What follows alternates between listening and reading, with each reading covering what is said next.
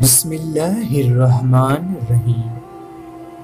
अस्सलाम Islamic information के प्यारे दोस्तों, मेरे प्यारे दोस्तों, हम उम्मीद करते हैं कि आप तमाम अहबाब खैर व आफियत से होंगे।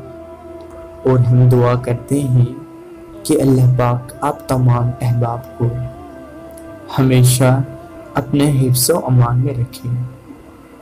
प्यारे दोस्तों, आज हम आप दोस्तों के लिए एक बहुत ही बेहतरीन वजीफ़ा लेके आप दोस्तों की खिदमत में हाजिर हुए हैं। प्यारे दोस्तों, हमेशा की तरह आज भी हम आप लोगों के लिए रिजिक, माल व दौलत और कामयाबी का वजीफ़ा लेके आप दोस्तों की खिदमत में हाजिर हैं।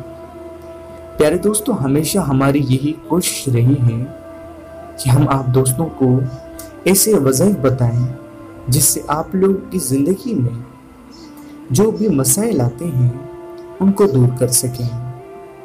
प्यारे दोस्तों, आज भी जो ये वजीफ़ा है, बहुत ही बेहतरीन और आसान वजीफ़ा है। आप लोग अगर इस वजीफ़े को कामिल ईमान के साथ कर लेते हैं तो इन आप लोगों की हर हाजत कबूल हो जाएगी और ये वजीफ़ा भी आप लोगों का कबूल हो जाएगा।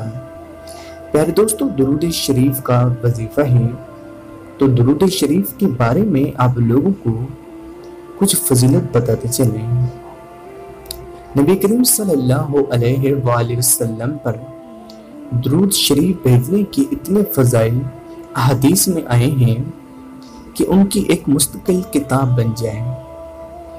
प्यारे दोस्तों, एक हदीस में नबी करीम सल्लल्लाहु अलैहि वसल्लम ने इरशाद फरमाया कि मेरे पास परवरदिगार की तरफ़ से एक आने वाला आया और उसने कहा, आपकी उम्मत का जो शख्स आप पर एक मर्तबा दरूद भेजे, अल्लाह ताला उसकी दस नेकियाँ लिखते हैं, उसके दस गुनाह माफ़ फरमाते हैं और उसके दस दर्जा बुलंदी होती है। हज़रत अंस रज़ी अल्लाह ताला फरमाते हैं कि नबी करीम सल्लल्लाहु अलैहि वसल्लम ने इरशाद फरमाया, जिस शख्स के सामने मेरा ज़िक्र हो, उसे चाहिए कि मुझ पर दरूद भेजे और मुझ पर एक मरतबा दरूद भेजता है। अल्लाह उस पर दस मरतबा रहमत भेजता है।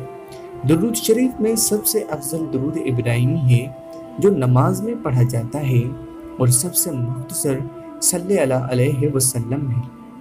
उससे भी दरूद शरीफ की फजीलत हासिल हो जाती है। अल्लाह ताला ने इस कायनात में तीन किस्म के आलम पैदा किए हैं। एक वो आलम जिसमें सिर्फ़ खुशी ही खुशी और आराम ही आराम है।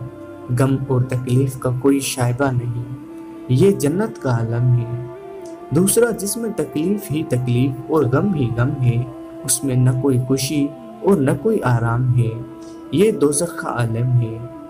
और एक वो आलम है जिसमें खुशी भी है, गम भी है, रहमत भी है और तकलीफ़ भी है। और ये आलम दुनिया है। लिहाजा इस दुनिया में आज तक न कोई ऐसा इंसान हुआ, न हो सकता है, जिसे कभी न कभी कोई न कोई तकलीफ़ न पहुँची हो। इंसान खवा कितना ही दौलतमंद हो, कितना ही बाख्तियार हो, कितना ही नेक और मुतफकी हो इस दुनिया में खुशी के साथ, गम से और आराम के साथ तकलीफ़ से ज़रूर सबका पेश आएगा। बड़े बड़े पैगम्बरों ने भी तकलीफ़ें और परेशानियों से गुजरे हैं। लिहाजा अगर कोई शख्स ये चाहे कि मुझे अपनी ज़िंदगी में कोई तकलीफ़ या सदमा न पहुँचे तो उस दुनिया की हकीकत से जाहिल है। उसकी ये ख्वाहिश कभी पूरी नहीं हो सकती।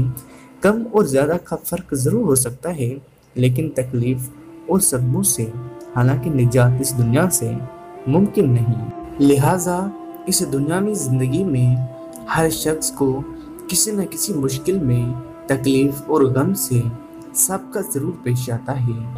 अगर वो बेसब्री का मुजाहरा करे, हर वक्त जाब जा अपने गमों का दुखड़ा रोता रहे और अपनी तकदीर का गिला शिकवा करे, तब भी उसे गमों से निजात नहीं मिल सकती।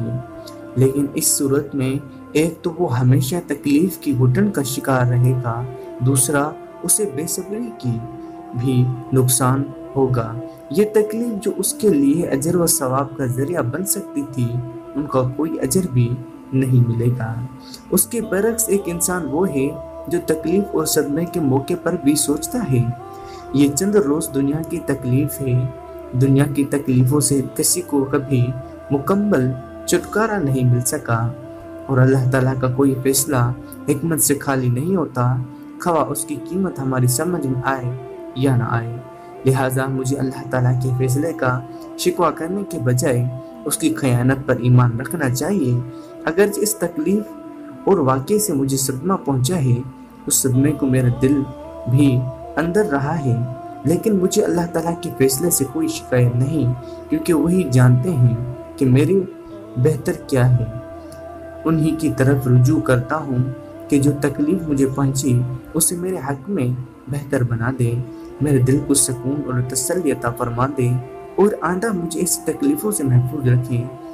जो बेताब करने वाली इस शख्स की इस सोच का नाम सबर है और उसका फ़ायदा ये है कि उसे इंसान को तस्लीम होती है, बेचैनी में कमी आती है, दिल को करार नसीब होता है वो दूसरी तरफ़ जो तकलीफ़ पहुँची, उस पर अल्लाह ताला की तरफ़ से बेहिसाब अजर मिलता है।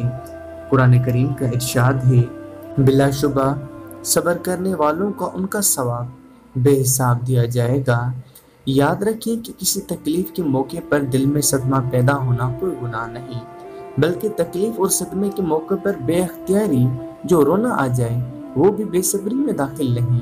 बेसब्री ये है कि अल्लाह ताला के फैसले पर एतराज़ और शिकवा शिकायत कर देना। अगर दिल में सदमे की आग सुलग रही है, आँखों से आँसू बह रहे हैं, तबीयत परेशान है बार बार रोना आ रहा है, लेकिन इंसान अल्लाह ताला की तकदीर का शिकवा करने के बजाय अल्लाह ताला की हमतों पर ईमान रखता है तो उसी का नाम सबर है और इसी पर अल्लाह ताला की तरफ़ से बेहिसाब अजर का वादा है।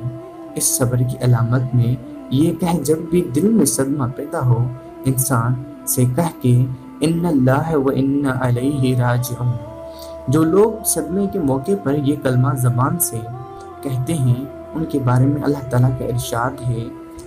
ऐसे ही लोगों पर उनकी परवरदिगार की तरफ़ से रहमतें हैं, नाजिल होती हैं, और ऐसे ही लोग हिदायत पर हैं।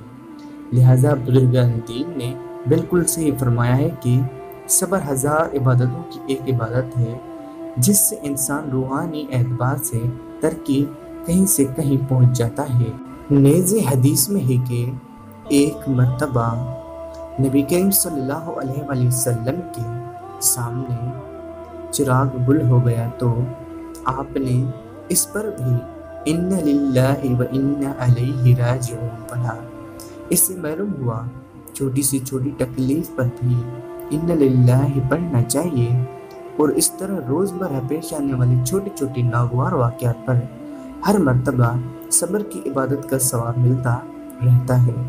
चलते चलते पाँव में कांटा लग जाए, दामन किसी चीज़ से उलझ गया, पाँव फ़सल गया, घर में बिजली चली गई, किसी नागवार वाक्य की खबर कान में पड़ी, कोई चीज़ गुम हो गई और उस पर भी इन पढ़ते रहना चाहिए, उसका भी सवाब इंसान को हासिल होता है।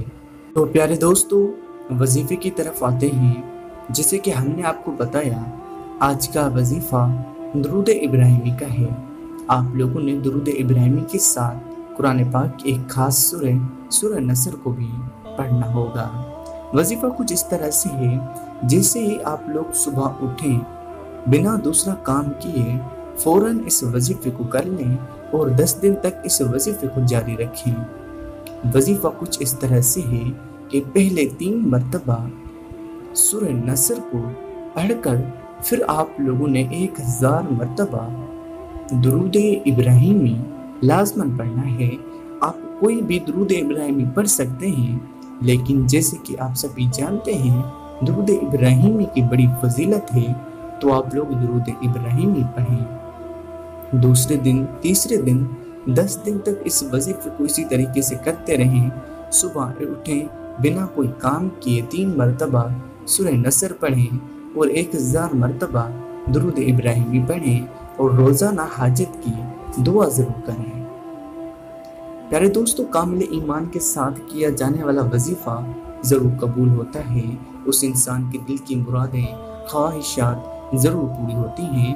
अगर आप लोग भी चाहते हैं आप लोगों के तमाम मसाइल दूर हो जाएँ, रिज्क के मसाइल दूर हो जाएँ तो आप लोग इस वजीफ़े को ज़रूर करके देख लें। इन इनशा आप लोगों को इस वजीफ़े से ज़रूर फ़ायदा होगा। उम्मीद करते हैं आज का वजीफ़ा आप तमाम दोस्तों को ज़रूर पसंद आया होगा। पसंद आए तो लाइक और शेयर करें। मिलते हैं फिर किसी और नई वीडियो में। तब तक के लिए अल्लाह हाफिज़।